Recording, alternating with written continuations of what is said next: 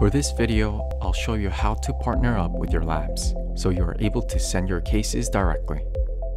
Go to meditlink.com and not the program. You can only add labs in the Meditlink website. Log in with your account, select Partners in the left tab. Search for the lab name, email address, zip code, etc., and send a request.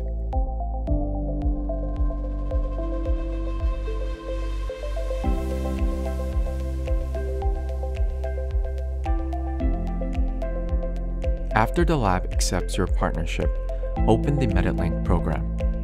You will be able to order and send your completed case to the lab.